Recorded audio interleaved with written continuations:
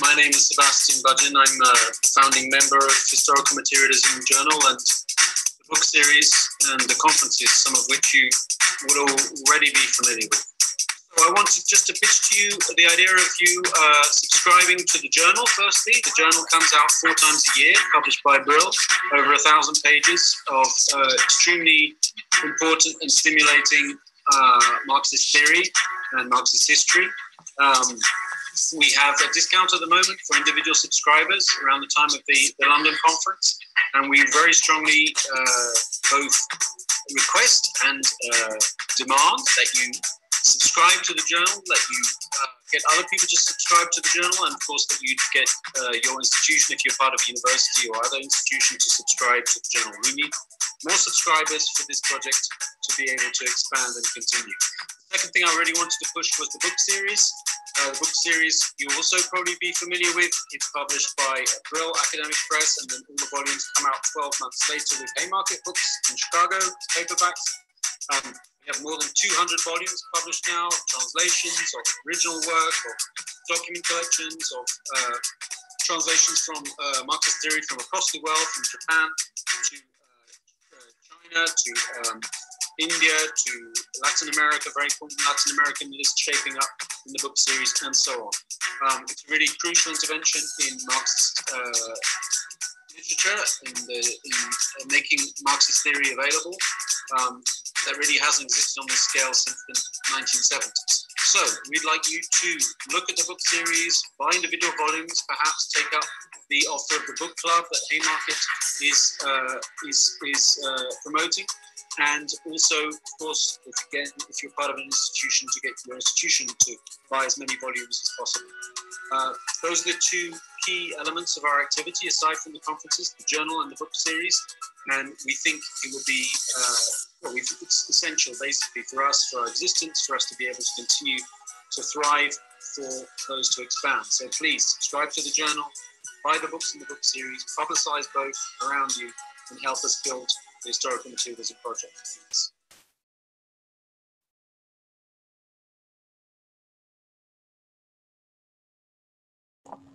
Okay, hi everybody. My name is Panagiotis Sotiris. I'm a member of the editorial board of Historical Materialism Journal, and I'd like to welcome you to this panel for Historical Materialism Online 2020. This panel is dedicated to a very important collective volume that has been uh, out in the historical materialism book series. It is already out for about a year in the uh, Brill series, but uh, relatively soon it is also going to be out in the Haymarket uh, edition of the book series, which means it's also very, very relatively cheap and easy uh, to obtain. This is a collective volume uh, edited by Francesca Antonini, Aaron Bernstein, Lorenzo Fusaro, and Robert Jackson. Uh, and uh, I would like to say from the beginning that it's, it's, it's, it's, one of the most important recent contributions to Gramscian philology. Uh, so it's, I'm really, really happy to be able to do this uh, book launch, but also do set this book, uh, to try to obtain it and read it uh, because this is also a way to, uh, you know, support the historical materialism book, uh, historical materialism book series and the historical materialism project in general. And in a certain way, this project is about being able to issue out books uh, like, like these. Uh, this uh, panel is going to be organized in the, in the following way. We have three of the editors, Francesca, Lorenzo, and Robert, and also two of the contributors.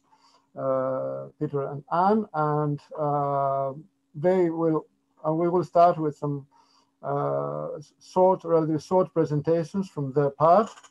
And then there's going to be, we hope to have enough time for discussion.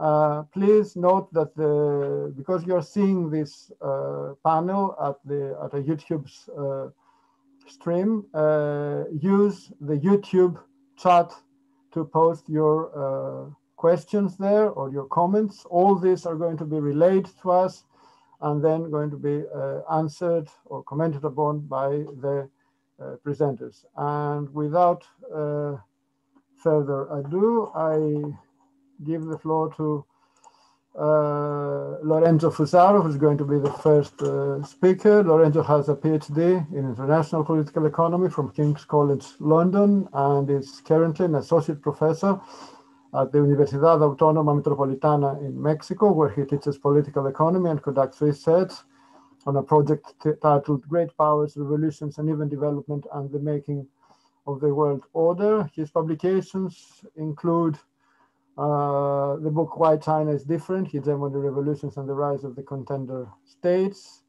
uh, the Prison Notebooks, the McCart Library is the second, and Crisis and Hegemonic Transitions from Gramsci's Quaderni to the Contemporary World Economy, which is a title that's been out in the historical uh, materialist book series. So, Lorenzo, you have the virtual floor.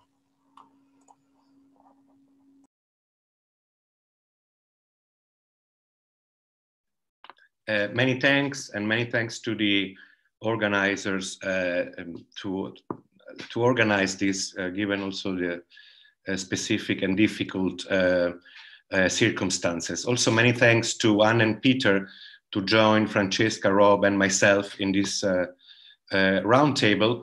And I wish also to underline that also Aaron Bernstein uh, who is not here with us today uh, online, he also contributed importantly to, uh, to this project. Um, as the first speaker, I will say something about the genesis um, of this book. And in doing so, I'd like to say something about the beginnings and what actually brought us together. And then I wish to say something uh, about the conference we organized uh, in 2015, a conference that was that served as the basis for the uh, present book. And finally, I'd like to say just a few words on the structure of uh, our uh, book. So actually, it was uh, Rob who brought us together at the end of 2013 and beginning of 2014. And this is, it is important also to remind and to mention different Gramscian initiatives, amongst which also the Ghilarza Summer School that uh, made it possible for different scholars uh, to, uh, to meet, right? Uh, and that they fostered encounters, which finally gave us the opportunity to chat with each other. Um, there are mainly, I would say, two things perhaps that we uh, had in common. Uh, although we come from different fields of studies and are not philologists, I think we all believed that it is uh, only through a careful return to Gramsci's uh, original writing that, that, it is possible to attempt to fully grasp uh, Gramsci's uh, thought. Uh, and also to understand the origin and the elaboration of his concepts. This, I think, is particularly important uh, uh, as maybe uh, at a superficial level of analysis or at the level of appearances, you sometimes get the impression that Gramsci's ideas and concepts are contradictory. So this is maybe even something that misled some uh, authors who worked on uh, Gramsci. And we believe that, is, that it is only through careful uh, study that it is possible to attempt to comprehend uh, the interrelation or the organic connection uh, between different parts that uh, make up concepts in, uh, in Gramsci. And perhaps the other shared idea we had was that Gramsci's concepts are still uh, relevant today, not just theoretically, uh, for the analysis and understanding of contemporary capitalism or the contemporary world. But relatedly, we believe that Gramsci's concepts still offer relevant insights for thinking about uh, strategies able to shape uh, the present. So each of us heard about different people working on a similar uh, line or in a similar uh, direction. And this basically resulted in a call for a conference that took place in London in uh, 2015. And the conference was called uh, Past and Present Philosophy, Politics, and History in the thought of uh, Gramsci. Through the title, uh, Past and Present, we wanted to highlight the importance of the past and the present for, for, understanding, for understanding and shaping uh, the present. Here with a capital, with a capital P, no? underlining the dialectical uh, relation. At the margin, I wish also to uh, mention that uh, exactly on this theme, we have a, a, very interesting contribution by Fabio Frosini in this very uh, volume. So going back to this conference, we had about uh, 45 scholars from 16 uh, countries uh, working within different fields of research, uh, from linguistic to anthropology, geography, political economy, amongst uh, others. And the book is basically a selection of different uh, contribution, and it is made of 25 chapters. Uh, yet the different chapters are not just conference uh, proceedings. Uh, we have really, I guess, very interesting and elaborated contribution. And the structure of the book reflects the many Gramscian fields of research following the method I was mentioning uh, just before. Uh, and Francesca later on will elaborate a little bit more on this. And going back to the structure, uh, as I said, 25 chapters organized in eight, in eight sections. And I will I wish just to read out the title of the section so that, that you might get an idea. The first is called Global Gramsci and Gramscian Geographies. The second, Language and Translation. Uh, the third, Gramsci and the, Mar and the Marxian Legacy. The fourth, Subalternity between pre-modernity and modernity. The fifth section, uh, post-colonial and, and anthropological approaches the sixth, uh, culture, ideology, and religion, the seventh, historical capitalism and world history, and the eighth section, uh, uh, readings of Gramsci. So as you can see, it's a very uh, rich uh, book, I guess, and I'm happy now uh, to give, yeah, thanks Rob. I'm happy to give the word now later on to Francesca, who will say something more about the method that we used. Thanks. Okay, thank you, Rob. And now I will give the floor to uh, Francesca Antonini. Francesca Antonini is currently a postdoctoral fellow at the Lichtenberg College at Georg August Universität Göttingen in Germany. And she has had uh, previously research positions at the Université de Lyon and at the École Normale Supérieure de Lyon in France and the Fondazione Luigi Einaudi in in Italy. Uh, she has a PhD from the University of Pavia, and uh, she another book by her, a monograph on the concepts of Caesarism and Bonapartism in Antonio Gramsci's work, will uh, soon appear in the book series. Actually, it's going for it is uh, scheduled to appear uh, in the next days, entitled Caesarism and Bonapartism in Gramsci, Hegemony and the Crisis of modernity. So, uh, Francesca, you have the floor. Thank you, Panagiotis. And thanks also to Anne and Peter for joining us today and to the HM conference organizers for hosting us here and giving us this opportunity to present our book. Thank you very much. As Lorenzo anticipated, I just want to say a few words about methodology uh, we discussed this issue in the introduction, so I don't go into details, not for anyone. But I think, or we think, as editors, that the this methodological issue, methodological issue is not secondary, but rather it's a central issue in Gramscian scholarship nowadays. It's an issue that is strictly connected to the interpretations of Gramsci's thought as a whole. In fact, we think that the best approach, the approach to Gramsci's thought that we share is the, is the one that we could define the historical philological approach. This kind of approach um, has been, uh, let me say, established in recent years and characterized what we could find the Gramscian revival that took place in the last two decades, especially in Italy, but also all around the world. The most important uh, development, most important outcome of this new revival is the new uh, critical edition of Gramsci's work, which is currently in preparation in Italy. It's called Edizione Nazionale degli Scritti di Antonio Gramsci, and it comprises uh, not only his pre-prison writings, but also a new edition of the prison writings and letters and materials. And we think that this is going to be to represent the basis of the future Gramscian scholarship also in the future why we think that this kind of approach, this very historical and philological approach is the best one to work in Gramsci.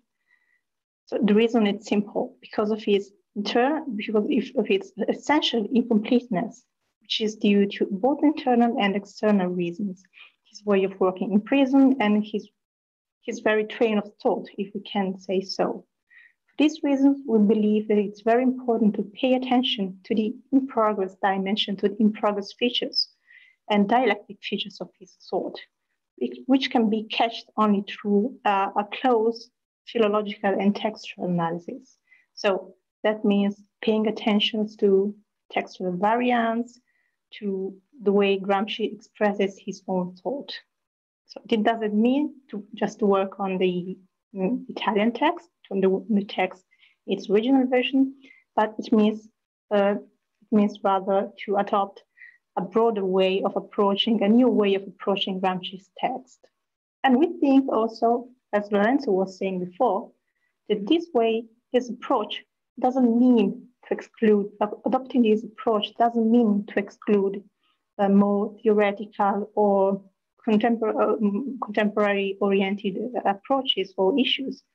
In fact, reading Gramsci and approaching Gramsci from this philological point of view allow us to better grasp also his contemporary relevance to so talking about politics and society and so on.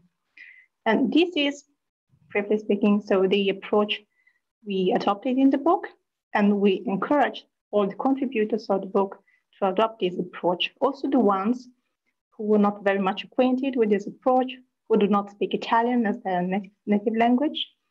And they, they, they, they were very helpful, so to say, and they worked in this direction. And in this sense, it was very useful. Also, the presence of the um, current English um, edition of Gramsci's work. And in particular, I'm talking about the edition of the prison notebooks edited by Joseph Buttigieg, who is still in, so it's not complete yet, but it's going to represent the basis of the Gramscian philology in the English language also in the future. And I think, so we think that this kind of approach makes our volume, so to say, unique. And I would say also unparalleled from this point of view. If there are many monographs uh, now available in English which show this kind of approach, uh, books uh, written originally in English or translations of Italian books. This is, the, this is the very unique collection which shows this kind of approach. There are no other um, edited volumes which show this approach, at least in the Anglophone world. And I think it's very, it's very useful. And I think, if I can add lastly, maybe this uniqueness was made possible by the fact that the most of the contributors were or are, are still are uh, early career researchers, and therefore scholars who belong to a new generation of Gramsci uh, scholar, scholarship, who, who, who are part of this new generation of Gramsci scholarship, and therefore can read Gramsci's text with a fresh eye, so to say. Thank you. Okay, thank you, Francesca. And now I give the floor to Robert Jackson, Rob is a lecturer in politics at Manchester Metropolitan University. He has published in Science Society, the International Gramsci Journal, and Gramsciana. He was co-organizer of this uh, of the conference from which uh, actually this volume came from, and has also participated in the Ghilarza summer schools. He's interested in the concept of mummification, the language of life and death in Gramsci, and he has uh, written chapters that have appeared in the volumes Subjectivity and the Politically Contemporary Perspective, published in 2017 by Routledge, and The Meanings of, Meanings of Violence, from Critical Theory to Biopolitics, uh, published in 2018, also by Routledge. Rob, you have the floor. Thanks very much. And thank you also for your kind words uh, at the beginning, Panagiotis. And, uh, and like Francesca and Lorenzo, I'd like to thank the, the organizers and Peter and Anne for agreeing to, to join us here today. Um, I'd just at the outset like to mention the um, dedication of the volume to Joe Buttigieg, who Francesca mentioned, um, who sadly died in January 2019. Um, Joe was professor of English at, at, Notre Dame and the editor of, as Francesca said, the published volumes of the critical edition of Gramsci's prison notebooks in English. Um, and as the editors, we really wanted to acknowledge how important Joe's work was, particularly for those of us who um, who began our engagement with Gramsci as Anglophone readers. Um, and Joe really opened up and made possible many of our own pathways of research on Gramscian themes. Um, on a more personal level, he also uh, shared his time and ear with those of us that were new to the field and was you know, an incredibly warm and, and generous person. Um, so Lorenzo's already explained the, the genesis of the volume, if you like, emerging from the connections established and the conversations begun at the 2015 Past and Present Gramsci conference in London. Um, I'm just going to uh, share my screen um, with you for a, a few minutes um, so that you will be able to see the, hopefully, uh, the poster from the conference and also the, um, the cover of the, the forthcoming Haymarket edition. And it was certainly, a conference was certainly incredibly rich and stimulating um, couple of days.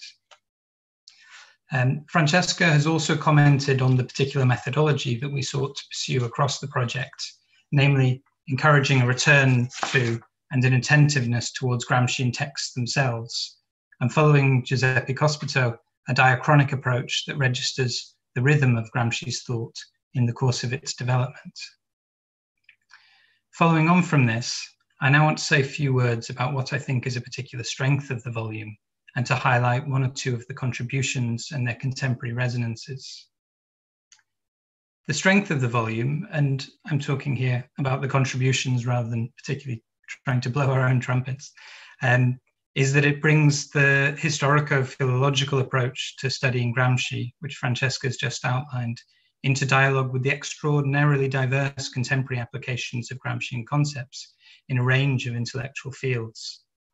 As Lorenzo has pointed out, these include radical and human geography, international political economy, linguistics and translation studies, anthropology and sociology, cultural studies, political philosophy and political theory, post and decolonial thought, and literary theory, to name but a few.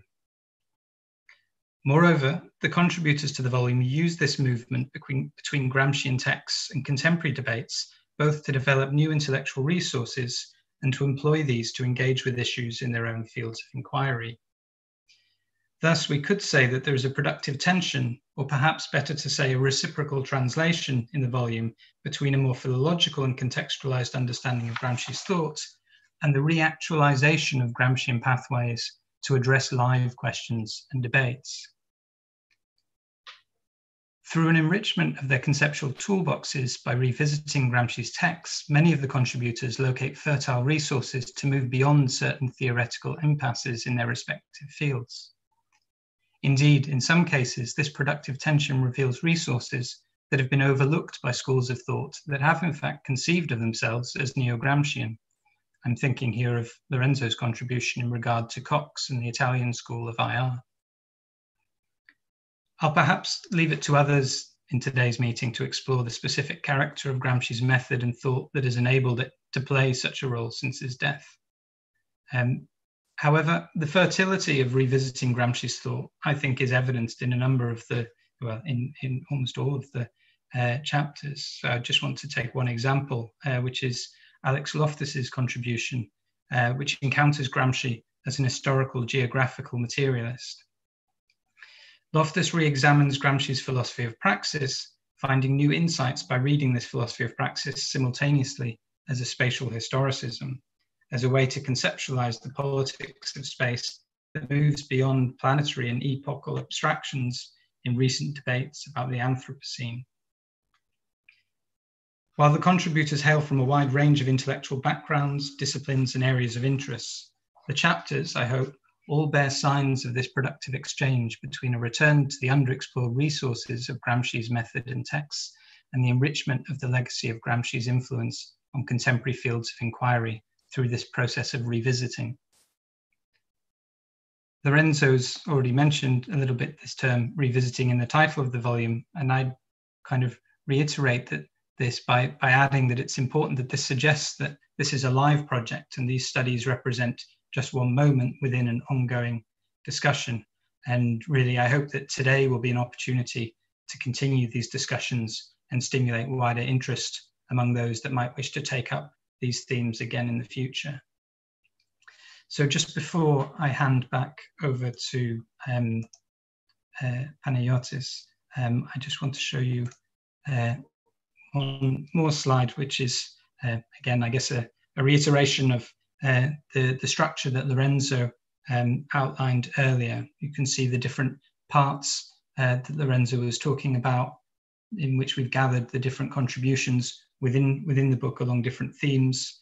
Um, and you can also see a little bit here some of the titles, um, Alex Loftus's chapter that I've mentioned, um, but also a rich diversity of other uh, contributions, um, again, including many very important kind of contemporary debates, you know, just taking the second chapter by Roberto Rocco, uh, dealing with and drawing a balance sheet of different uh, discussions about attempts to theorize neoliberalism with uh, Gramsci's concept of passive revolution, and in Rocco's case, applying that to the case of, of Egypt.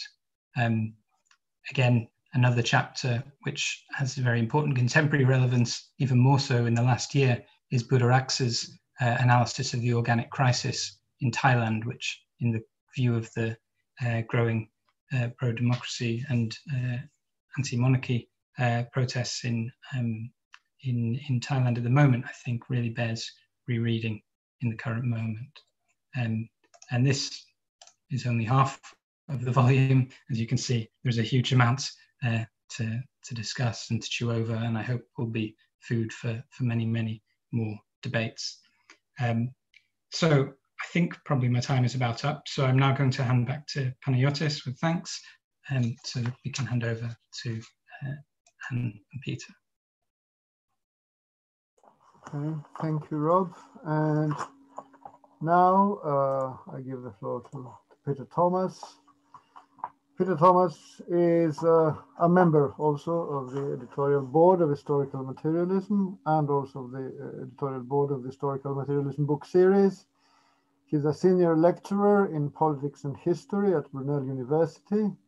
He is the author of The Gramscian Moment, Philosophy, Hegemony, and Marxism from the Historical Materialism book series and now in, in Haymarket, and co-editor of Encountering Althusser, Politics and Materialism in Contemporary Radical Thought and in Marx's laboratory critical interpretations of the uh, Grundrisse. And apart from being on the editorial board, Historical Materialism, he's also on the editorial board of International Gramsci Journal, uh, the board of directors of Gramsciana, and the International Scientific Committee of the Gil Summer School. So, Peter, you have the floor.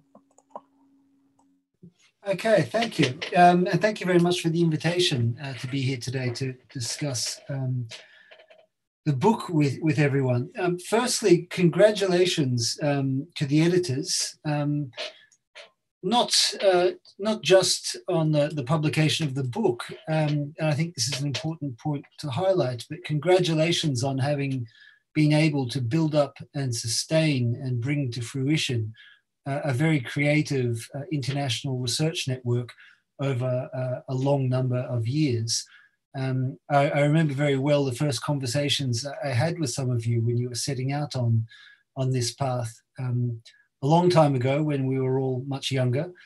Um, and I was very impressed to see the way that young scholars with a lot of energy uh, were reaching out, uh, building up international networks, uh, constructing the relations that are needed um, to produce an organic process of collective research.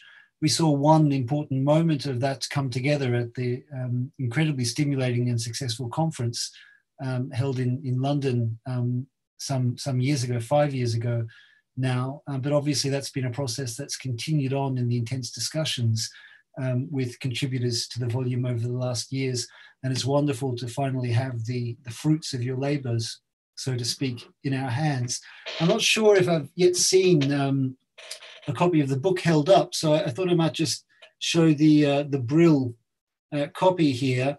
And uh, in particular, to give you the side profile, to give you a, a, sense of this is really quite a substantial volume. This is not just one of um, the short uh, edited collections that various uh, publishers put out every now and again. Um, this is a, a, significant tome of uh, scholarly work of a, a very high standard, um, and to produce uh, an edited collection of this quality uh, and this length uh, is is no simple undertaking. So many congratulations to all of you for that.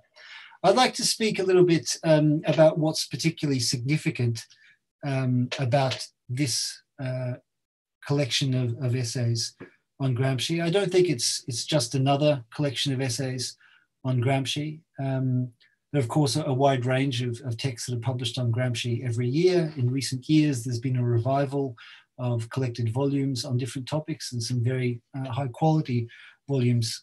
Um, but I think this volume uh, is quite special and distinctive, not only in terms of Anglophone literature, but also in terms of the international discussion. Um, so I'd like to suggest three reasons why this is a particularly significant publication for everybody who's interested in exploring the, the riches of Gramsci's thought. Firstly, um, this volume, I think, gives us a, a, real sense of a new Gramsci. And by a new Gramsci here, I'm not just referring to the way in which there are um, many uh, younger researchers presenting us with new and innovative readings of Gramsci's thought, although the volume does include um, many exciting um, young and emerging scholars in it.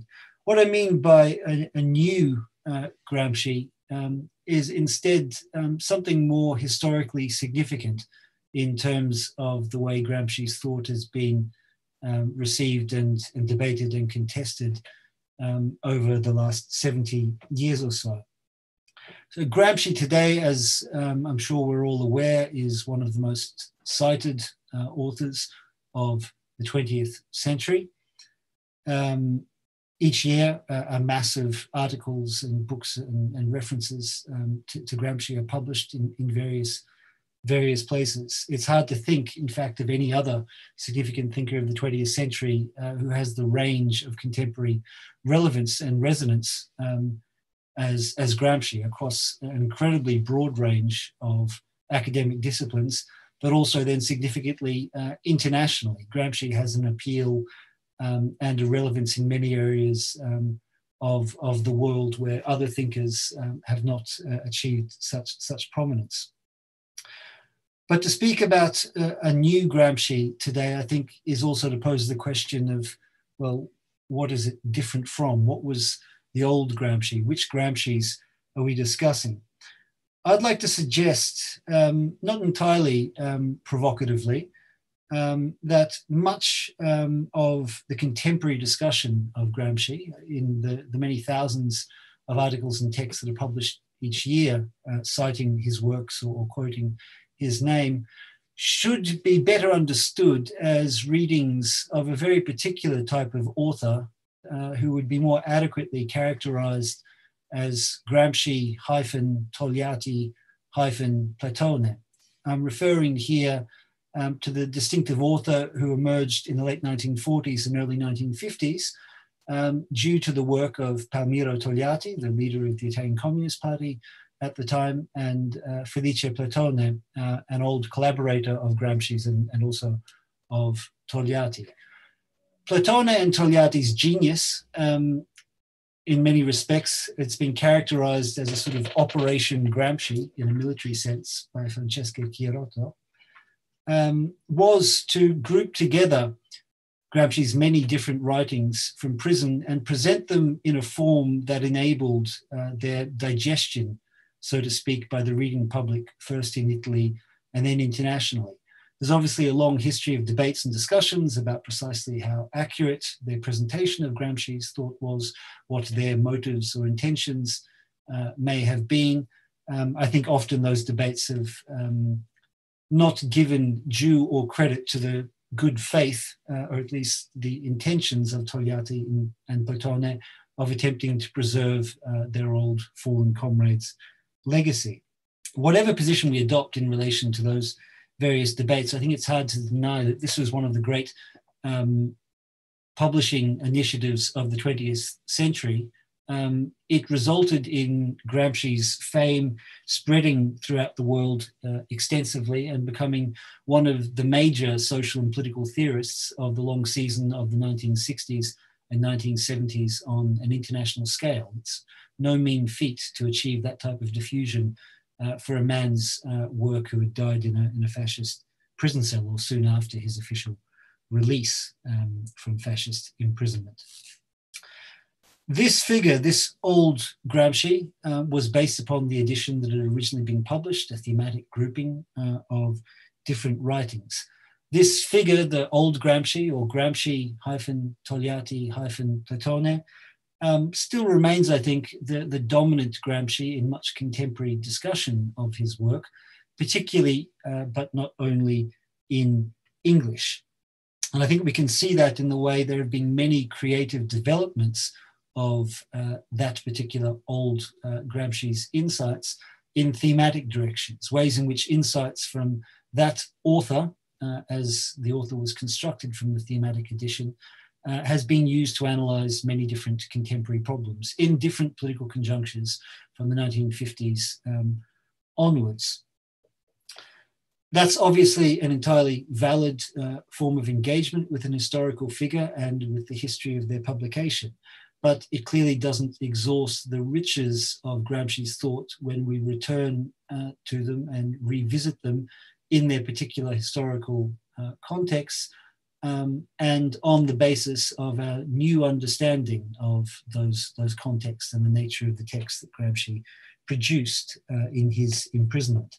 There's obviously been a huge amount of work um, done in the Italian language discussion over the last 20 years, um, developing uh, new ways of reading Gramsci, and I think also a substantially new uh, understanding uh, of Gramsci's uh, thought not simply in terms of its details or some of the finer points of interpretation, but globally in terms of our overall understanding of the complexity of Gramsci's thought. There has not, however, I think it's fair to say, been a sufficient reception of those Italian language debates uh, internationally, in English, but also in, in many other languages. And this volume, I think, will go a long way to enabling uh, the greater diffusion and inter international discussion of the new uh, Gramsci.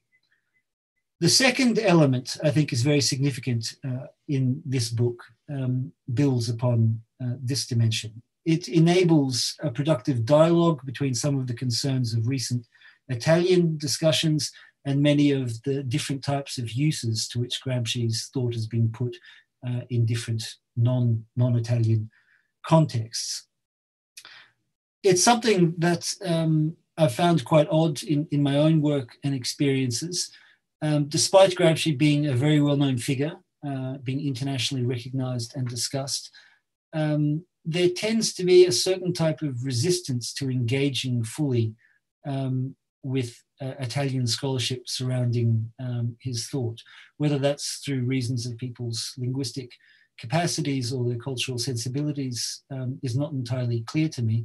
It does seem quite singular in the case of Gramsci in a way um, that perhaps is not when we come to consider other uh, major figures in the history of modern political and social thought. It would be difficult to imagine people today uh, believing it was uh, legitimate to publish um, studies of the thought of Jacques Derrida, uh, for example, uh, without engaging both with his texts uh, as written in French um, or with the extensive body of French scholarship that has grown up around it.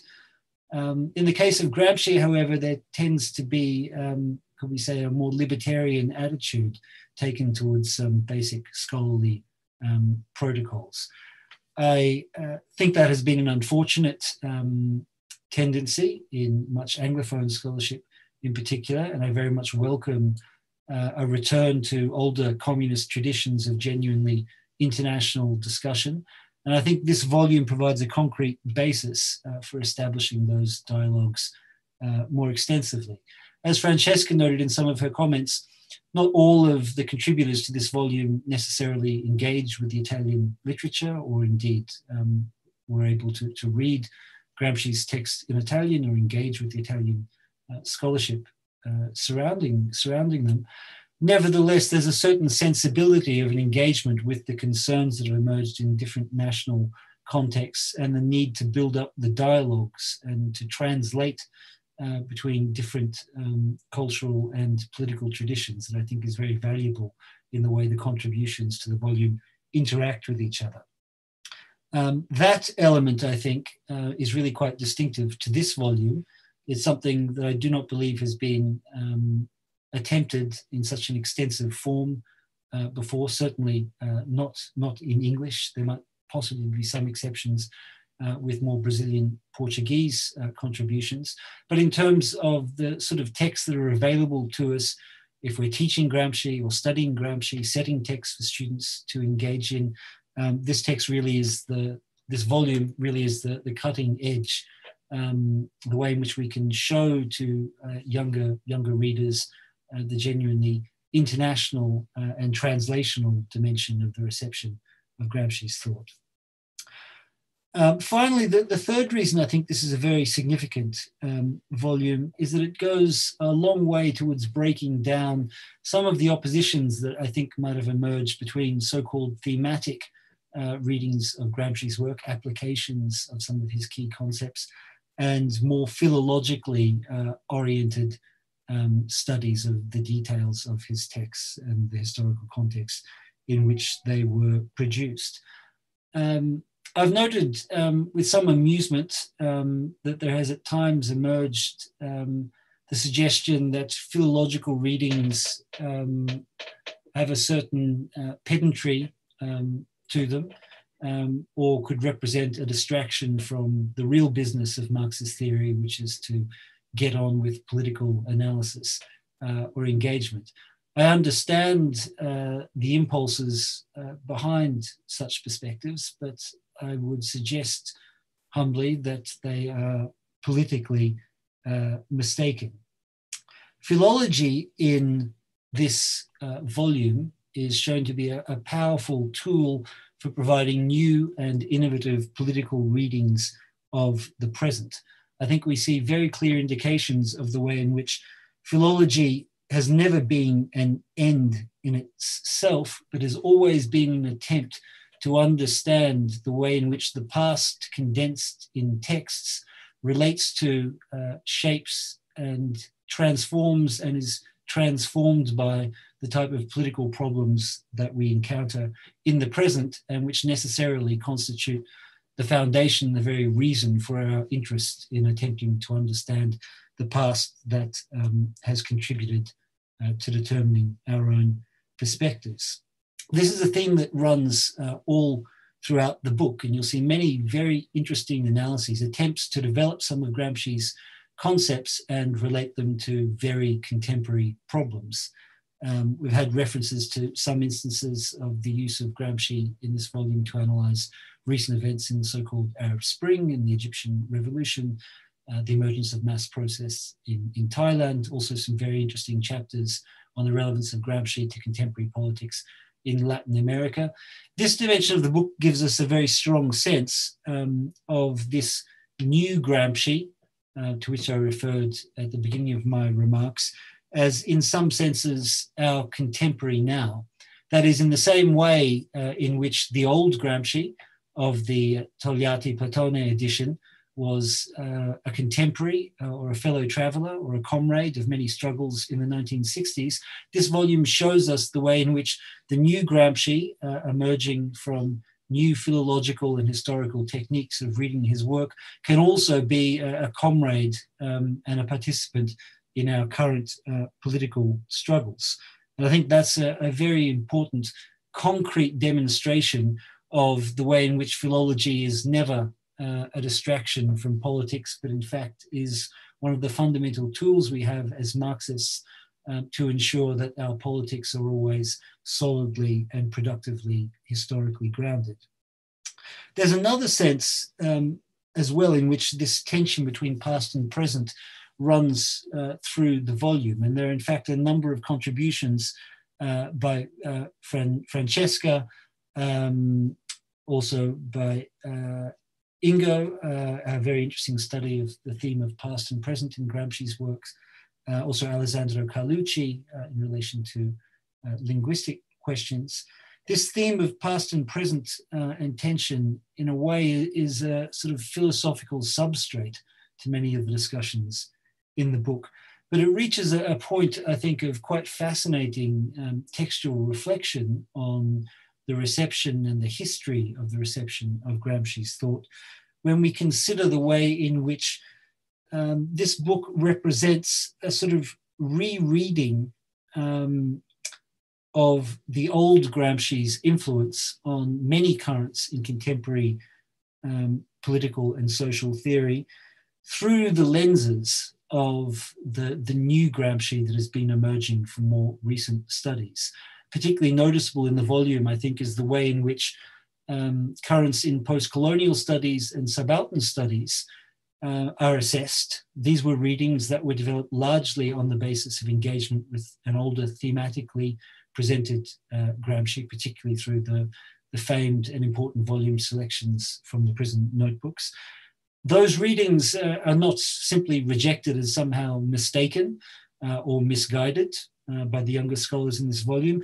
They're instead engaged with in a productive way. There's a critical dialogue going on, showing the ways in which the type of insights that is emerging from readings of the new Gramsci, being produced by philologists and historians, can help us, in fact, to address many of the problems that those currents uh, in critical theory had first highlighted on the basis of their reading of the old Gramsci, um, so to speak.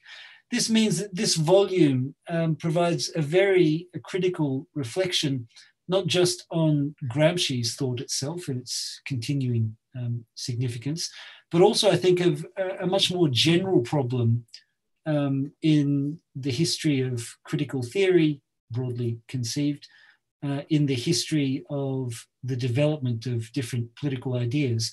And that's the problem of the way in which our interpretations and traditions of interpretations of different authors can be critically interrogated and transformed in some senses um, from within. The Operation Gramsci uh, that Togliatti and Platone masterminded uh, in the late 1940s uh, and early 1950s has produced long historical echoes and resonances that remain profoundly uh, important today. Um, the way in which a younger generation of Gramscian scholars have demonstrated they can engage with those discussions and those debates, not in the sense of a refusal um, but in the sense of a, a, critical dialogue, is I think very heartening for all of us to think about the way in which certain forms of continuity with older leftist traditions can be maintained, even in the very act of us seeking to renovate them and to go beyond them to confront um, what Gramsci liked to refer to as the great and terrible world of our own very different contemporary times. Thank you very much, Peter. And if I just comment as a philologist by, oh, sorry. As a philologist by training, of course, I would second any suggestion that philology is necessary for Marxists. And now, uh, finally, I give the floor to uh, Anne Showstack Sassoon. Uh, she has taught as a professor at Kingston University, Kingston upon Thames, and Birkbeck at the University of London, and has been a visiting professor at Carleton University in Canada, Aalborg University uh, in Denmark, and L'Orientale in uh, Napoli, and has also lectured elsewhere in Europe, the US, and Mexico. And her books include Gramsci's Politics, and Gramsci and Contemporary Politics, and also the edited collections, Approaches to Gramsci and Women and the State, And her books and articles have been translated into many languages. And of course, is also one of the contributors to this really important volume. So you have the floor. Anne. Thank you so much. Um, I just I want to say that I and I outlined this in my preface that I I welcome this book and I'm so encouraged as a no, not as a no longer very active and no longer very young um, academic who's worked on Gramsci. The the endeavors, the enthusiasm, the energy of another whole generation that's engaging with Gramsci. Um, having organized or helped organize conferences and also edited volumes, um, it's an enormous amount of work. Um, it always spreads over years uh, in terms of the um, uh, the books that come out, and um, it's just really really exciting to see how well um, uh, Aaron, Francesca, Lorenzo, and uh, Rob have have managed to to get you know to produce this book. Um, I also really am pleased uh, that it's dedicated to Joe Buttigieg, who is a very dear friend of mine, who very, very sadly died all too young and quite recently.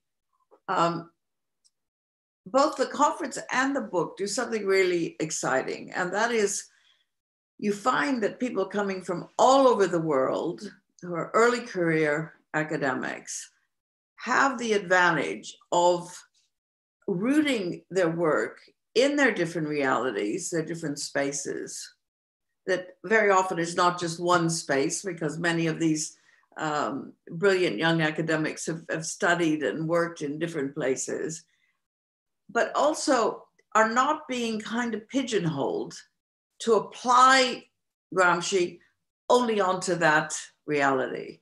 Um, this is something that has occurred to me over many, many years, attending many uh, conferences. Um, there tends to be an hegemony in, uh, how can I put it, the Anglophone world, let's put it like that.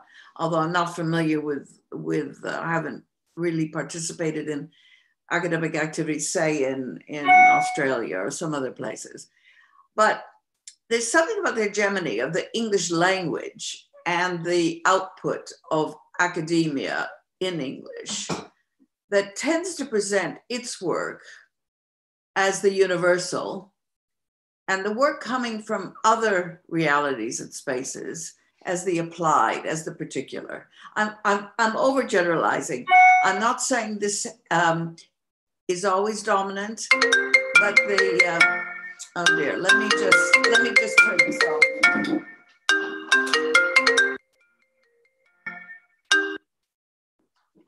I'm so sorry. Um, let me see if I can get back to the. Uh, so going back, to, can you hear me? Or have I been? Yes, yes, you can. We can. Yeah, I can't see you because I this has happened once before. Um, so what we what we see in this volume is the the richness of the rep of the um, the kind of traditions and multiple heritages of different young academics engaging with Gramsci, considering different realities, but also presenting ideas that are advancing the overall scholarship on Gramsci. So it's not just rich because of the um, uh, the different kind of backgrounds people are coming from, but it's also wherever you are, and it's such an interesting mo- moment, the time and space at, at, at this particular uh, time, um, that uh, it, it's advancing Gramscian scholarship overall. Um, I want to say a few words about the, the well, it's a subtitle, past and present. I, I think this is not only a category that um, organized the notes in that earlier, those earlier editions that Peter was talking about.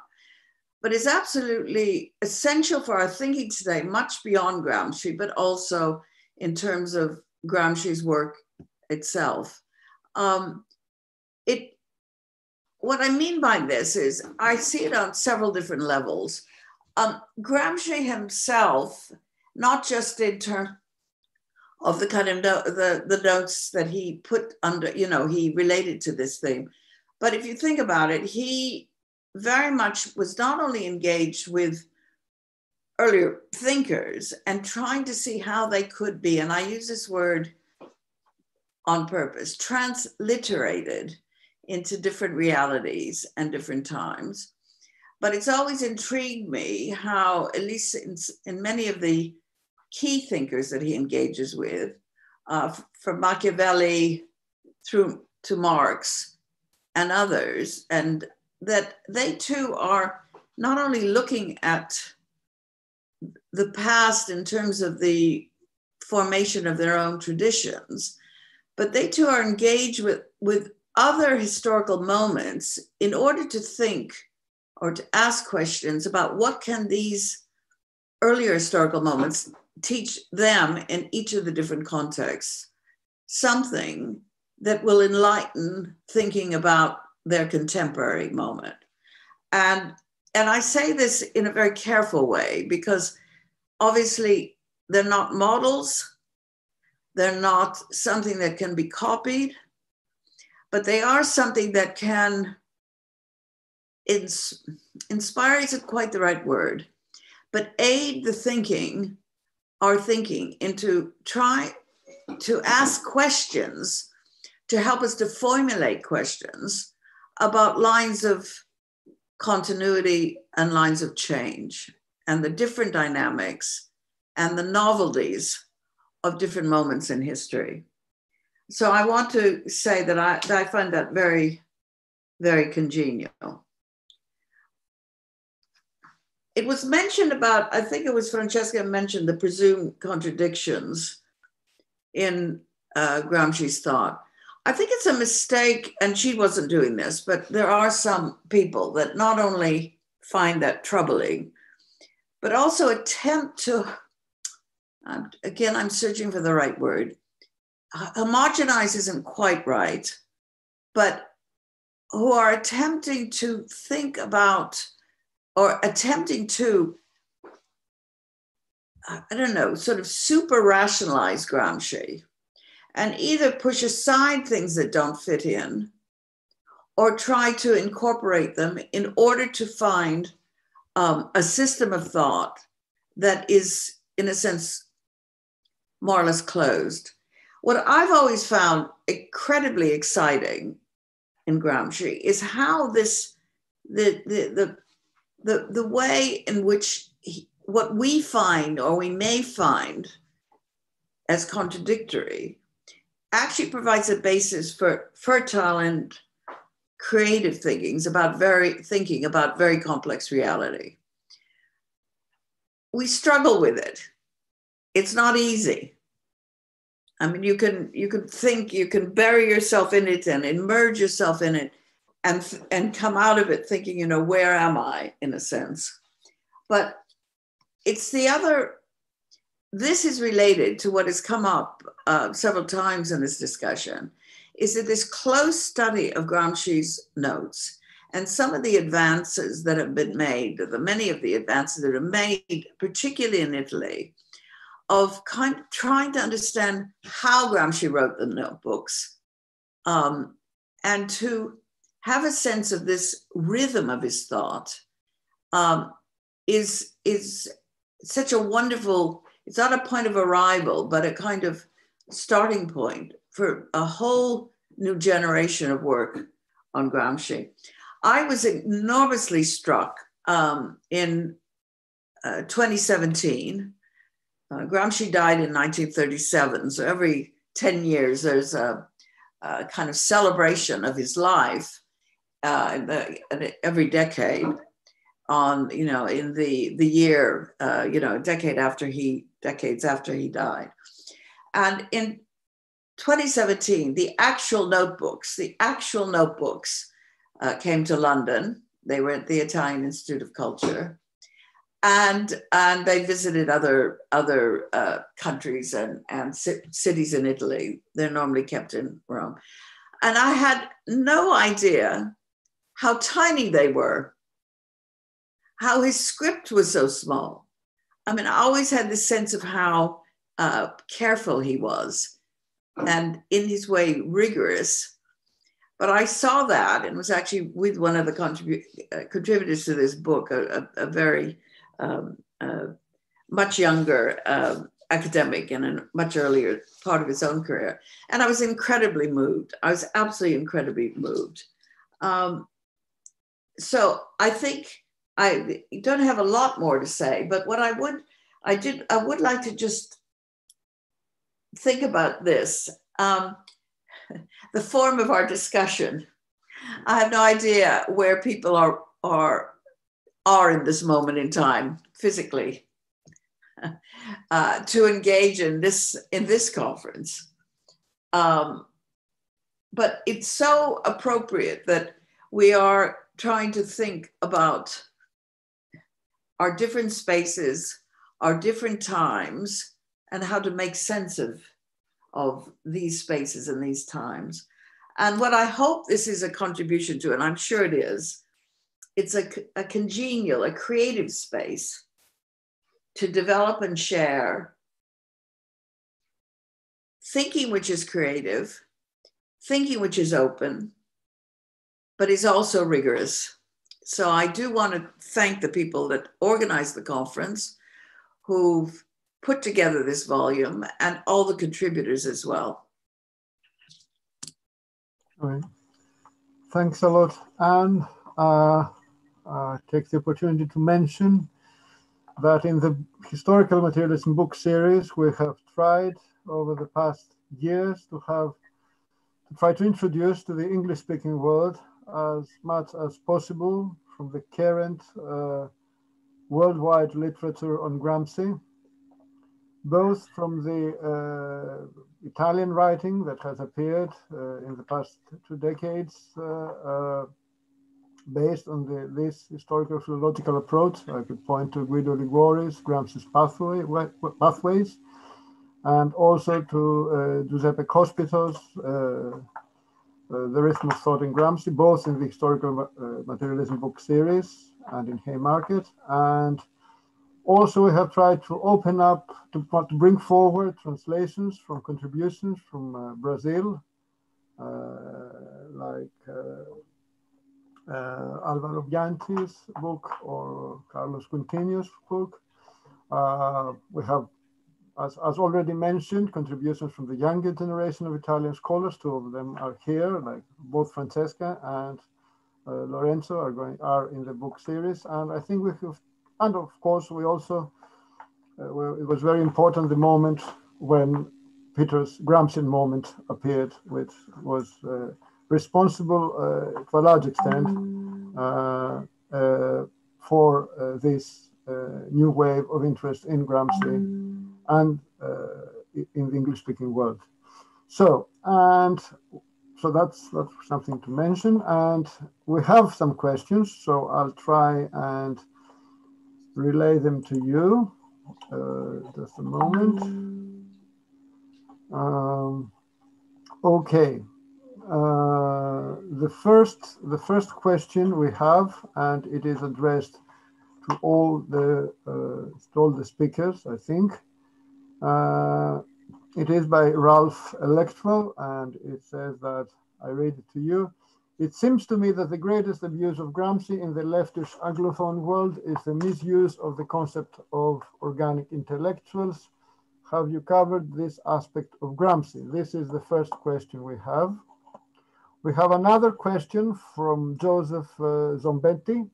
It is addressed to Francesca, and but I think it's also in a certain way it's also addressed to the to the rest of the panel. The question is, can you elaborate more on how we should examine more closely the notebooks from philological and textual criticism? In other words, why do you think such a prism is important and can you, be, can you be a bit more precise on how you think such an approach should occur? Examine rhetorical tropes, questioning narrativization, revealing dialectical tensions in linguistic clusters, etc. This is the second question we have. And uh, yes, and I, we also have two more questions. Uh, one is for Francesca. Could you explain Gramsci's original interpretation, Marxian thought and historical materialism into filosofia della Praxis from uh, Noemi Ghetti.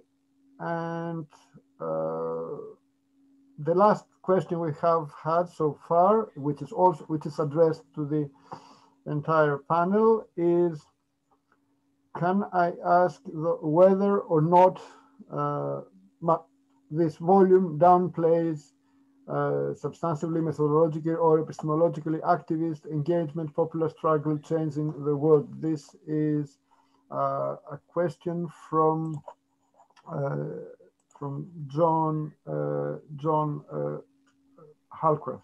Sorry. there is also oh yes, and there's also another question that just appeared.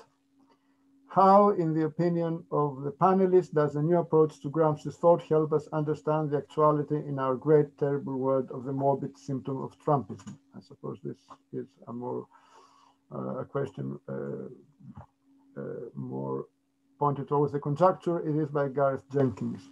So I I suppose we go for a first round of uh, responses.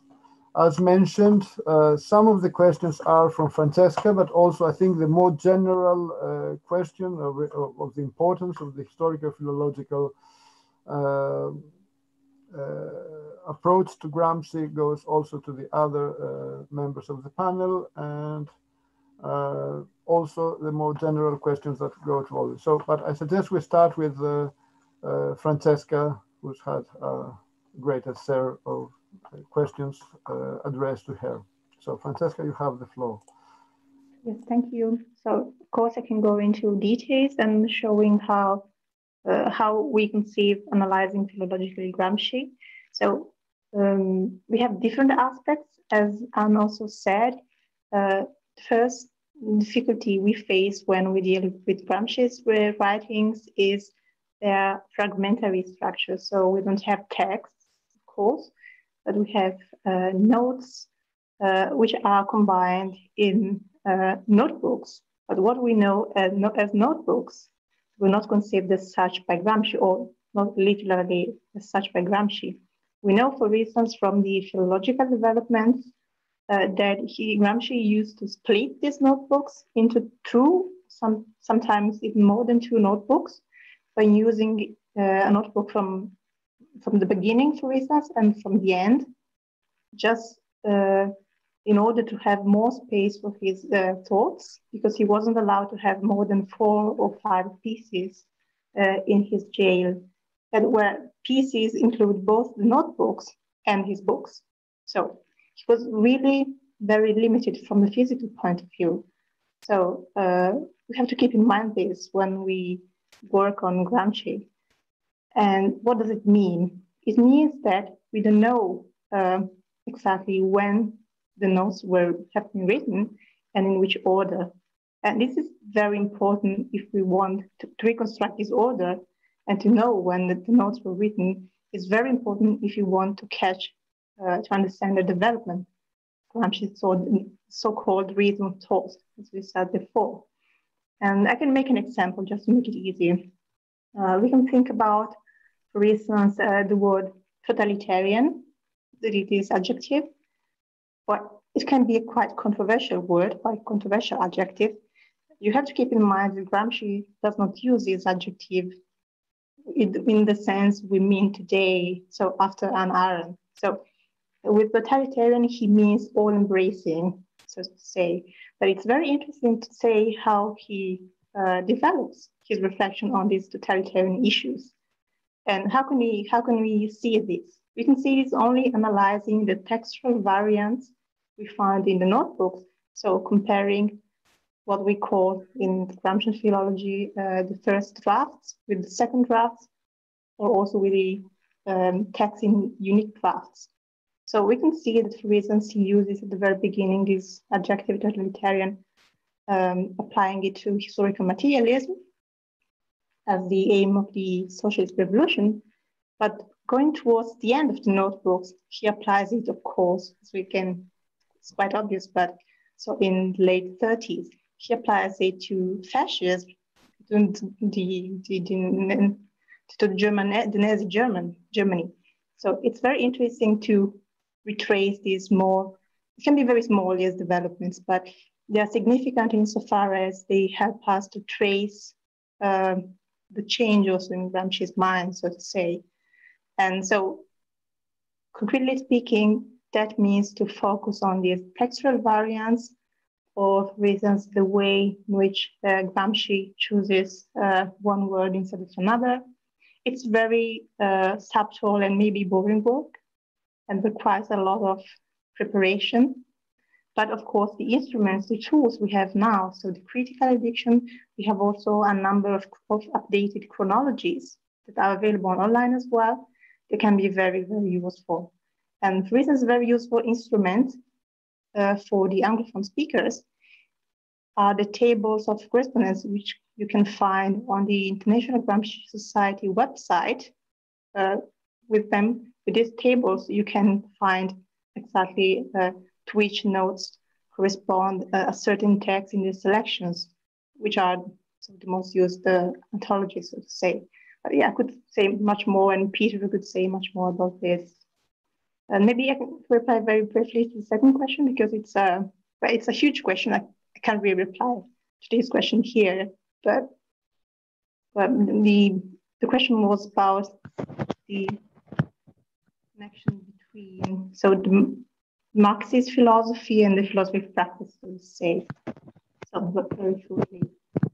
A huge theme, of course. And so, from my point of view, uh, a plus of these new research on Gramsci, which I'm presenting here today, relates to the uh, connection between, um, Gramsci's thought and Marx thought as such, not just Marx, not just the Marxist tradition as a whole in which Gramsci was, of course, embedded, but uh, his own reading of Marx, which is quite surprisingly a still under-investigated aspect of Gramsci's thought. And for instance, in the collection, I'm not going to talk about my essay, but you can find, for instance, essays by Fabio Frosini and one by Aaron Benson, which focus on this very carefully, and they're very, very useful if you want to deepen this. But I can say more now. Thank you. Uh, who wants to also respond since the questions are also addressed to uh, the other members of the panel. So uh, just you know, wave or something so that I can see you. Rob? You oh, Rob. Oh, oh, Anne, Anne, yes. No, I just, this is a practical point. Because I had that unfortunate telephone call interrupting my reception of Zoom, can you actually see me? Because I can't see you. I just want to know. Yes, we can see you fine. All right, that's fine. Um, I don't really have a, a, scientific response to this, but I, I would say that the if you translate the philological into the close reading of the text and the comparison of different versions of the text and the the possibility that we now have of the the um, incredible work of people that have, have, have, looked into this, particularly coming from Italy, but with studies available in at least in English and possibly in other languages. It it absolutely gives us a, a deeper sense of how Gramsci was thinking. So for me, this is the the huge value of all the, of that approach. I'll just leave it at that. Rob, you wanted to uh, say something? Yeah, um, I guess, um, I mean, someone asked a question about the whether there are any chapters that cover the concept of organic intellectuals um, directly. And I guess the answer to that is many of them uh, in different ways, but not, there's no single chapter which is kind of addressed to, I think, the particular sort of uh, misuse, as the as the questioner asked, of, of the idea of the organic intellectual. Um, but I suppose I wanted to respond to that question by kind of, um, I guess, broadening out some of Peter com- Peter's comments in terms of the um, the, the old Gramsci, the most important one being the, the sort of publishing initiative that he detailed around around the sort of Togliatti Platone um, um, tradition, but also kind of to put alongside that, and what I think comes out in, in certainly towards the end of the volume in the different readings of Gramsci is the sort of many of the other readings that were developed often in opposition and in, in, in debate with, with that reading. Um, so particularly I'm thinking of, there's one of the chapters on Norberto Bobbio's interpretation of Gramsci. Um, and obviously there are, um, there is a, a, very important kind of contemporary resonance in terms of another question about, about populism, um, about the way in which Gramsci is used today by left populism kind of emerges from uh, a kind of uh, as a as a follow on um, from some of those debates in terms of the way the concept concept of intellectuals and organic intellectuals is used today. So I think there are many different contributors in the um, in the volume who kind of engage with the way in which we can go back and reread concepts like the like organic and traditional intellectuals um, and see the different kind of old Gramsci's that have that, that continue to exist in in contemporary um, thought and debates, uh, sometimes a little bit subterraneanly. So the Bobbio is one example.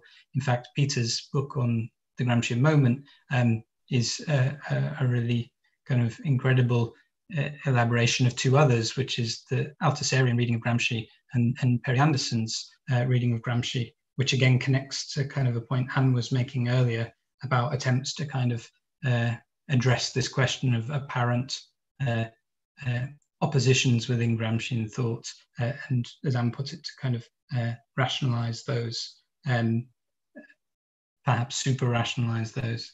Um, so I think the there are in many of the later chapters on Althusser, on Bobbio, in fact, also a very interesting kind of intellectual history of Gramsci's reception in France, which perhaps shows some of the ways that Gramsci's thought through its not being published, but attempts to publish it by people like Sartre, had an effect on many of the French intellectuals in the 50s and 60s in a way which we perhaps don't always see um, on the surface, but I think is important for our understanding of, of kind of Gramsci's subterranean influence as well, and, and therefore trying to trace his different uh, legacies uh, and put together for ourselves today a reading both in a philological way of, uh, of his text, but also of his kind of afterlives in the present. Okay. Lorenzo, you wanted to intervene? Unmute yourself, Lorenzo. Yeah, yeah, yeah. Thanks. Well, thanks for uh, the, the, different questions. I wanted to just uh, briefly comment uh, upon the last one that, that has been asked on how a particular reading or this rereading of Gramsci can help us to understand the current situation. Just in, I mean, methodologically, to make an example, I mean, you can have an approach that uh, or a concept that might help, help us to understand the current situation might be uh, the concept of organic crisis no? Uh, and this is um, maybe a concept that has been analyzed uh, usually from just from the super uh, superstructural uh, level, no, without taking into account all the structural elements that Gramsci actually takes into account for when when exploring that idea and concept. So this is perhaps a way in which you, you might not just look at I don't know the crisis of legitimacy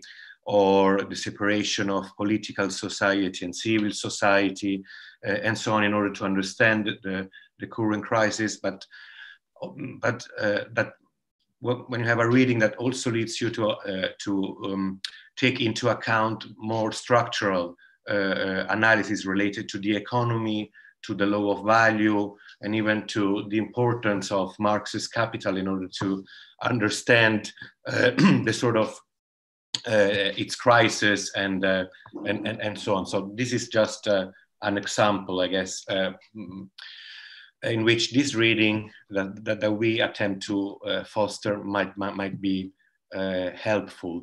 And also, uh, just also a very brief comment, there was another question whether we also have uh, contributions that attempt to analyze the, um, the importance of social movements and so on. And there, I would say that um, uh, we have a, a, whole section on subalternity and so on, which might be very interesting to read uh, from that perspective. Uh, if I could come in, Panagiotis, just to comment on, on a few yes, of the yes. questions. Yes, you can. Um, yeah, just to uh, John Chalcraft um, regarding the, the nature of the volume and if it um, downplays or not um, issues of, of, political engagement. I think one of the, the fascinating things about the volume is that in some ways uh, it looks a little bit like Gramsci's prison notebooks themselves. There aren't quite as many pages in this volume, but the composition of it um, is similar to the prison notebooks in the sense that there are some texts focused directly on quite concrete political issues, other texts reflecting um, on, let's say, more theoretically removed issues, some texts focusing on uh, historical questions, other on theoretical questions, and so forth. So there's a range of different uh, approaches here. But for the reader interested in what can Gramsci tell me about contemporary politics, there's a, a, range of texts on issues from politics in Latin America to Gramsci's relevance to analyzing the migrant crisis in contemporary Europe, uh, to transformations in global political economy, um, which I think become even more interesting when read in the context of the volume, when they're accompanied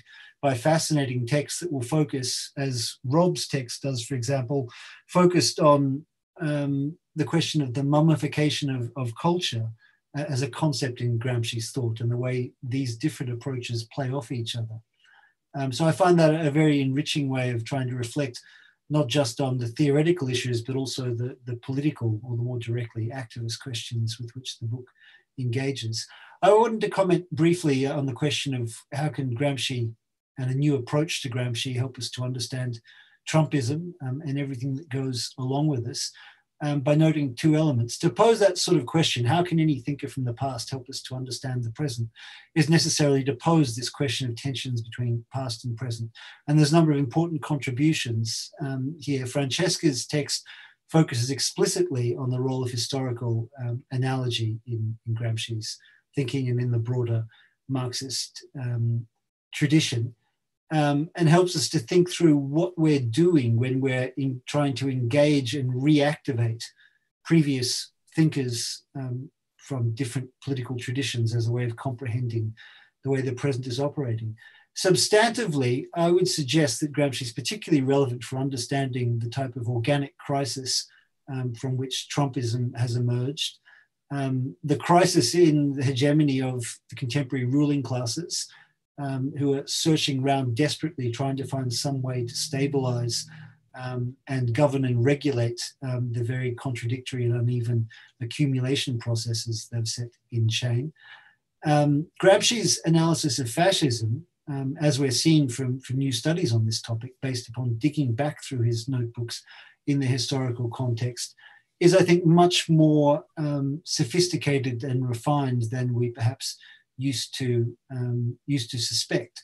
I'm not saying that new findings fundamentally contradict previous discussions we've had, but they certainly add many new layers of, complexity. And when those dynamics are read in relation um, to work that's emerged inspired by different currents of contemporary critical theory, such as subaltern studies, I think we get a very powerful reflection upon the nature of bourgeois liberal parliamentary democracies uh, and regimes and their capacity for producing subalternizing relationships and political structures um, between different class and, and, broader social group projects. There isn't an immediate analysis of Trumpism that emerges out of that. And Gramsci would be the last person to suggest that we take his analysis of the historical causes and reasons for the emergence of fascism in Italy and use it as a sort of template to read off the emergence of Trumpism. But thinking through the depth and the complexity of Gramsci's analysis of fascism, how far back he goes into history to think through all the dynamics that are operating there. If we're looking for an example of how we need to approach the analysis of Trumpism, how we need to think through all of these many contradictions in our own time. It seems to me a very good historical exemplar of the way in which critical revolutionary theory and practice needs needs to be conducted. Could I come in here on? Yes, uh, yes. On, on um, uh, I can absolutely endorse what Peter says. And said, um, I think something that is very, very strong in Gramsci is not to see uh, whatever label we call, whatever label we use or, or uh, concept we use, subaltern classes, um, laboring classes, uh, people who are not um, um, hegemonic, uh, he never sees them as victims. Um, he he wants to understand he always wants to understand why people accept different kinds of ideas. What is it in their um, sort of pre existing uh, traditions that have influenced people in uh, diverse ways to, to possibly encourage them to um, accept certain ideas? But he's also very interested in why are people resistant to what he or others would see as very progressive ideas. And this is where he uses concepts like um, good sense and common sense.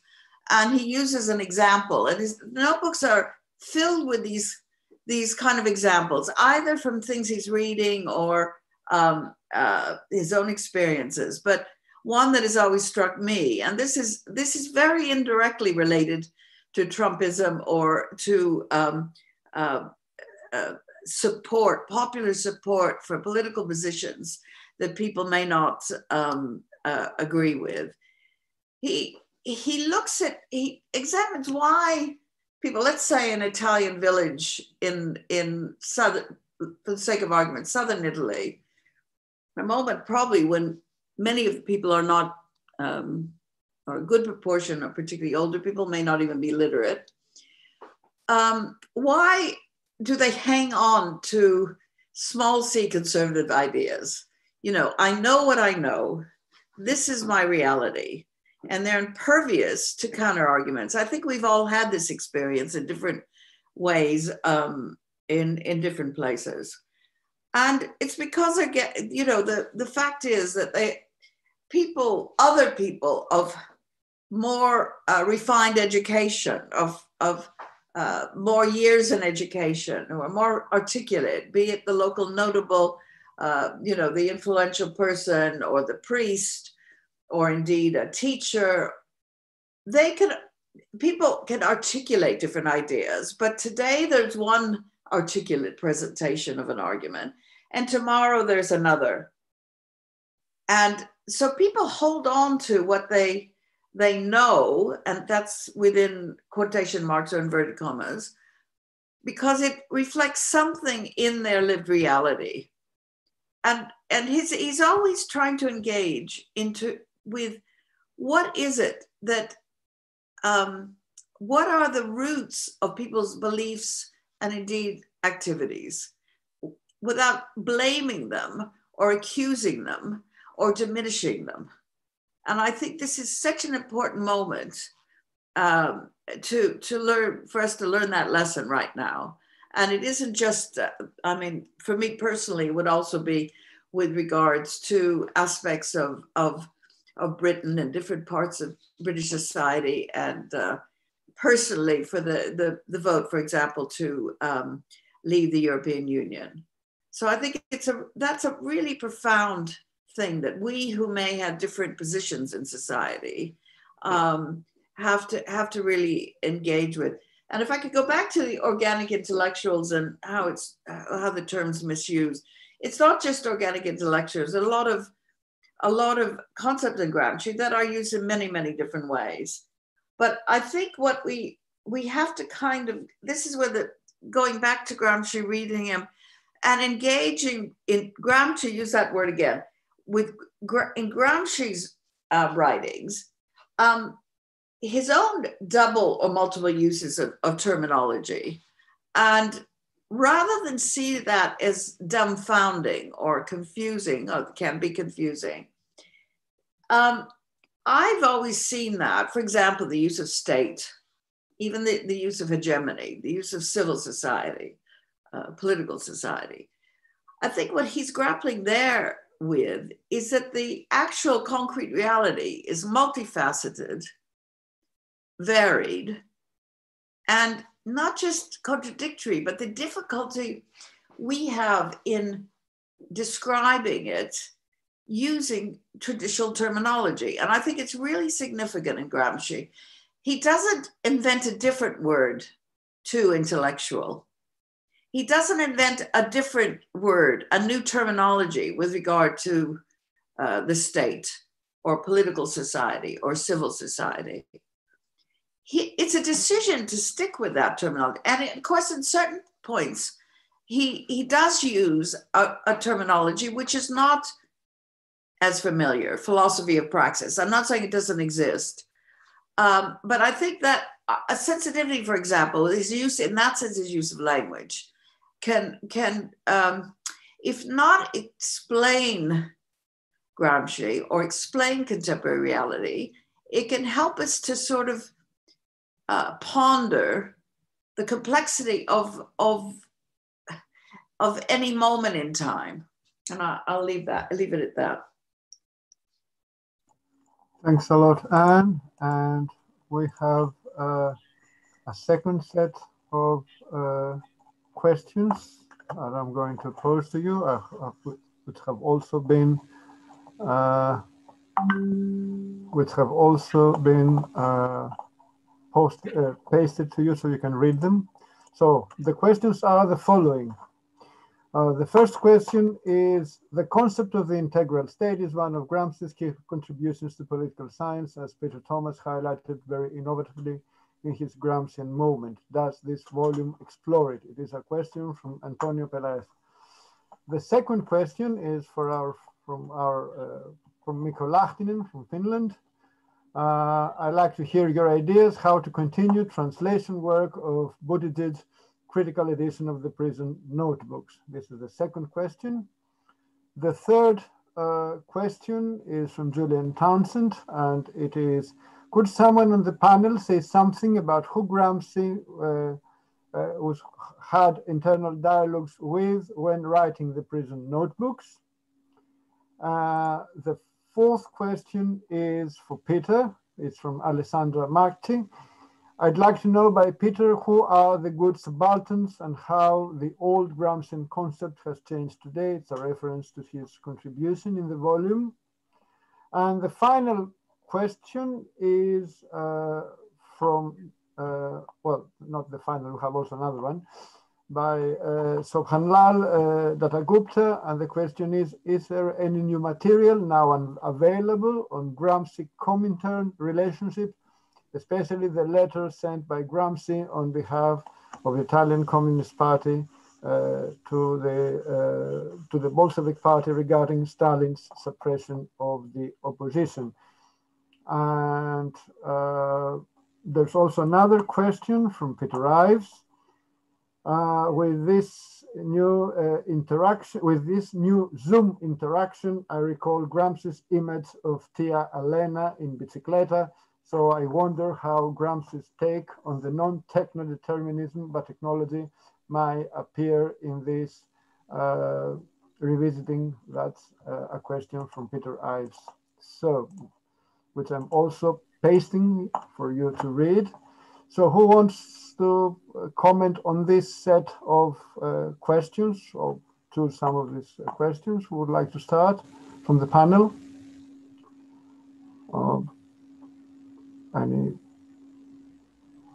Zoom silences are equally, you know, uh, uneasy as uh, live panel silences. Okay, Francesca, and then Rob.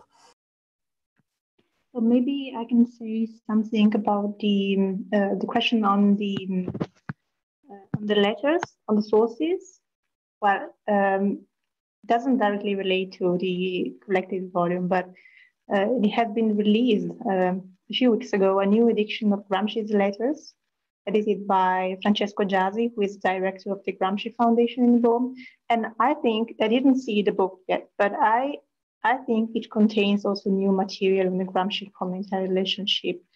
Uh, he has been working for many years on uh, collecting new material from the Russian archive. So maybe this could be included in this new edition, in this new edition, which will be the basis also for the critical, the, the national uh, critical editions of the of Gramsci's writings I was mentioning in my short presentation. Maybe I'm not sure, but maybe that's that's an option. I can uh, look closer into it.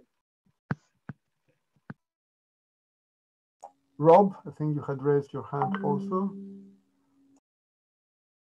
Okay, so who wants also to comment on this series of uh, questions? Some of them are for Peter. Um, yeah, just to come in on the uh, Mikko's question regarding uh, continuation of Joe's uh, Buttigieg's critical edition of the prison notebooks in English.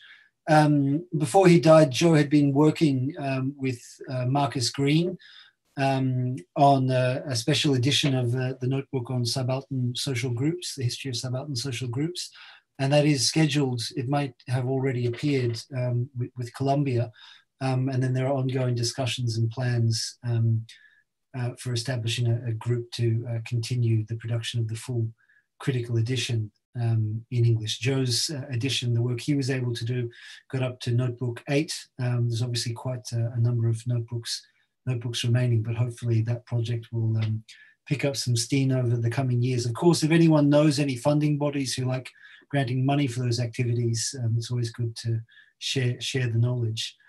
Um, regarding um, the question of uh, from Alessandra, uh, who are the good subalterns?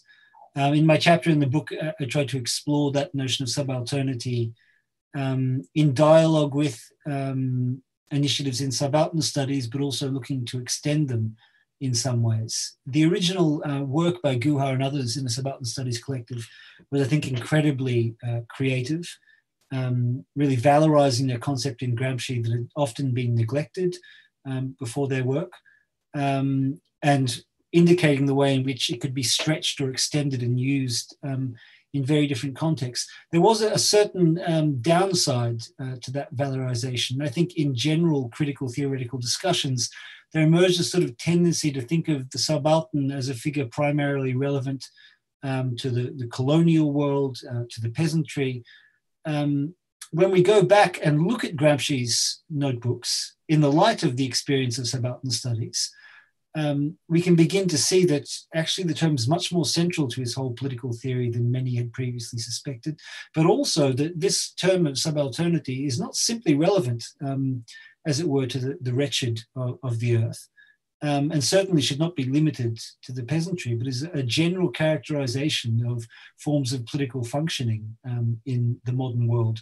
And it's a key that can help us to analyze all the forms of subaltern relations that dominate so called advanced Western liberal parliamentary democracies, just as much as it can be used to, to analyze forms of colonial uh, and post colonial uh, oppression and domination. So I, would like to suggest that re- returning to Gramsci's conception of a continuum of relations of subalternity, um, we can start to think of the way in which his vocabulary of subalternity in fact constitutes a very profound challenge to the entire liberal discourse around notions of citizenship, um, of rights, and the whole uh, range of, of, concepts that liberal political theory has developed. We have an alternative vocabulary that I think provides a much more concrete analysis of the forms of oppression and exploitation and domination and the way they all uh, intersect emerging from that line of Gramscian analysis than we can find, I think, in many discussions um, in contemporary political philosophy. And here I include also many currents um, in leftist and, and critical um, political philosophy. Gramsci's perspective can really uh, renew those debates. Um, and just regarding finally on the Gramsci Comintern um, relationship, um, after I actually have some meetings with collaborator Craig uh, Brandist um, soon. We've been working for some time uh, based on some archival work uh, in Russia as well, and we'll be looking to publish a volume. Um, hopefully, it will be out next year in the HM series. Um, looking at uh, some of the uh, documents from Gramsci's uh, time in in Russia in, in the early 20s as well. Um, and I know from some of the recent Italian publications and the work that we've been doing. Um, that entire experience of Gramsci's engagement with the Comintern, his, his stay in Russia, was so fundamental to so many dimensions of his thought that gathering and having available more materials, I think, will help us to finally put to bed this old notion that Gramsci in some way represents um, an alternative to, or perhaps an opposition to, the Russian revolutionary experience. On the contrary, he represents a type of organic con- continuation um, and immanent critique of the main themes that emerged in the Russian revolutionary process. Thanks a lot, Peter. Anyone else who wants to comment on the questions uh, we've had so far? Yes, Lorenzo. Mute myself. No, thanks. Just very briefly um, regarding the, the, the, question on technology and the integral uh, state. Uh, the issue of technology um, is actually addressed by a chapter by Bruno Settis, no, which is a very interesting chapter. So I wanted just to refer to that one. And the issue of the integral state is also discussed not as a specific chapter, but it runs to different chapters. It was only what I wanted to add concerning the, the questions. Thanks. Okay, thank you, Lorenzo. Anyone else? Rob? And yeah, I guess so to touch on and maybe not totally answer, but kind of connect two of the questions. The, the question of the integral state that Lorenzo just mentioned is, of course, uh, one example among many of, of ways in which, um, you know, another way of putting that is, uh, I think, by Buci-Glucksmann, uh, as the extended conception of the of the state. And Gramsci's extension of concepts, whether that be the intellectual, the state, um, or in many other ways, are kind of examples of I think what Anne was talking about earlier in terms of the way in which Gramsci takes up um, concepts um, used by others, um, engages in a kind of de- debate and confrontation with them, and, f- and finds in many ways new ways uh, of using them. And, and that kind of brings me to the to connect that question to Jules Townsend's question about, you know, what kind of internal dialogue was Gramsci having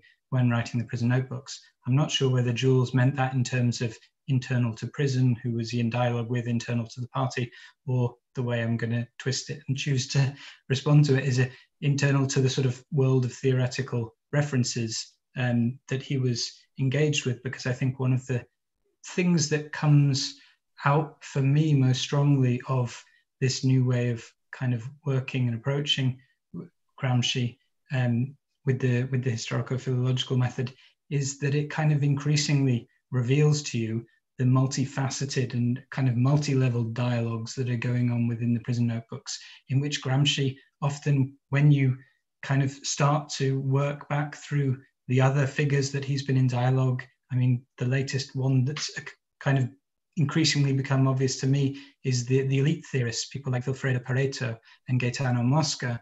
Um, when you kind of look at the language they use about um, equilibrium, about the idea of the political formula, and you see the way in which Gramsci takes up that language and incorporates it into his own constellation of concepts within the philosophy of praxis, which is obviously an architecture that runs right through up to this idea of the integral state. Um, you can see the ways in which he's taking the latest kind of developments in in and beyond uh, Marxist uh, Marxist thought um, and retooling them for his own purposes. So he talks about the political formula concept of of Mosca's of the of the United Front, uh, taking that in a in a very you know and so those discussions often we kind of look over them as a sort of odd formulation of a particular term. Oh, it's odd that Gramsci hasn't said it in the kind of very cliche way in which we normally think about it, um, but actually has all of those internal dialogues resonating with them. And I think it's only in a volume like this where you have people exploring Gramsci's ideas in all these different manifold contexts and applications, and also working back through the philology of those, um, that I think the full richness of these of these writings and the, and the legacy that he left behind um, actually becomes apparent to us. And that all works itself together to provide a richer idea of the philosophy of praxis, which can then be um, allow us to engage and hopefully transform the world um, in more in more powerful uh, ways that are, are less uh, likely to be caught up in in perhaps pitfalls and uh, repeating pitfalls of the past. Could I come in briefly, which is yes, yes. Um, it isn't directly uh, connected, but it is it, it is linked to much of what we've been talking about. Something that's always fascinated me in Gramsci is how he will take the smallest bit of information, and I'm thinking of a, a, a he's he's reading the review of a a book, or he's taking some little little uh, uh, uh, bit of of insight somewhere from it's not so much as an insight to be followed, but he takes it then to allow himself. He jumps from that to to to make use of it to help him think about you know to develop his own thoughts. So in a way, there's something in his approach. Now, heaven forbid we should ever any of us um, in this Zoom meeting uh, f- face the kind of constraints he did in prison or ill health and, and so on. But he, it's a very, very cr- creative process.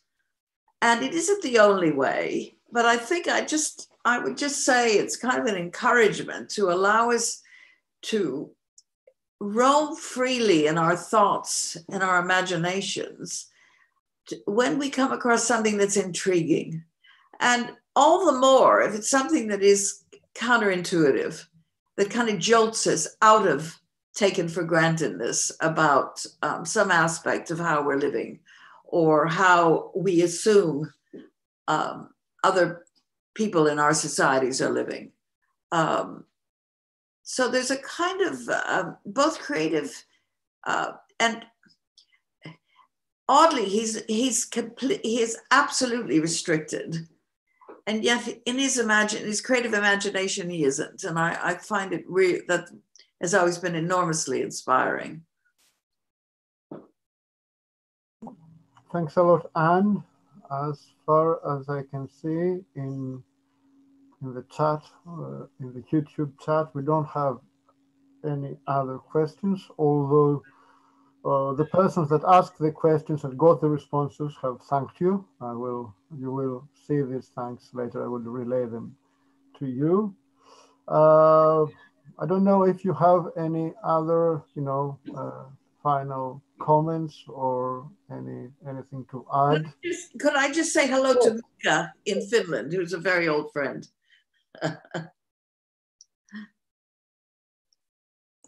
yes, Francesca. I just wanted to uh, thank you, all the contributors. And I want to say that as conference organizers, we've been very lucky to have so many participants. We have a, a great choice of uh, um, papers at the conference, and we could choose some of them. And it was really nice that, in spite of um, having organized a conference on the basis of a call for, for, for papers, we were able to create I think, such a coherent edited volume. So in my opinion, all the different chapters connect very well to each other. And so we have really to thank you, the contributors, for having uh, spent a lot of time uh, rewriting their chapters. And so it was really a great effort from them. And so they're really part of this, this book. So thank you very much. Okay. So, oh, Peter, yes. Yeah, if I could just come in and say um, one further word of congratulations um, to the editors. Um, perhaps also um, some suggestions for, for, for others out there listening or, or, watching today. As I said at the start, I think one of the really inspiring things about this book is that it's not just a book. Um, this is a whole organic research process um, this is built up through the hard labor of contacting people, of talking, of developing dialogues, um, of working over a long number of years. And in many respects, I think this book provides a real model example of precisely what the historical materialism tries to do and has been trying to do for, for over 20 years to build up this sense of a sort of Marxist public sphere um, where we can valorize le, le, the legitimacy of our own scholarship and our own scholarly uh, communities and use that to develop um, dynamic collective projects of incredibly high quality. Um, for those of you who are engaged in academia in its various forms, um, you'll be aware that the intellectual environment in many institutions uh, these days is much more strongly directed by various managerial decrees uh, and metrics um, and a real absence of that sense of scholarly community. But it's incredibly inspiring for me, um, the work the editors have done here concretely of demonstrating that we don't have to suffer in silence. Um, as Marxists, we can reach out in our international networks and build up those types of rewarding dialogues um, and collaborations. So a final pitch um, then, uh, I suggested Gramsci could be an exemplar for us today grappling with many of our problems. I think the editors of this volume also can be looked upon um, as exemplars um, of the types of projects we should be encouraging and enabling uh, on the left today. So if anyone else there out there is working on different projects around different Marxist thinkers, different Marxist topics, the historical materialism book series is always very interested to hear from you um, and provide the support to help you also undertake a, a similar type of journey and keep developing that broader critical dialogue. Okay, so uh, to wrap up, uh, first of all, I would like to thank uh, the participants in this panel, thank them not only for this panel, thank, thank them for their contribution in this very, really important volume, which is available in the Historical Materialism book series and soon in the Haymarket uh, version of the, of the Historical Materialism book series. Uh, again, I'd like to urge you uh, who are watching to support the historical materialism project because it enables the production of such theoretical contribution. This means please do subscribe to the journal and get a thousand pages of uh, you know important Marxist theory theoretical contributions It's year. Get your institutions to subscribe to the historical materialism book series and get the volumes for the university libraries and check out Haymarket for the uh, affordable editions of the historical materialism book series that appear one year after the publication of its volume at Brill. And in difficult yet challenging times like these, do engage with Gramsci. Uh, it is a laboratory, not just a thinker, but in this laboratory, you will find real uh, points to make you think and also to inspire you to actually comprehend this uh, terrible world, but also a world that it is possible to change. So thank you all very much and a good evening to all of you.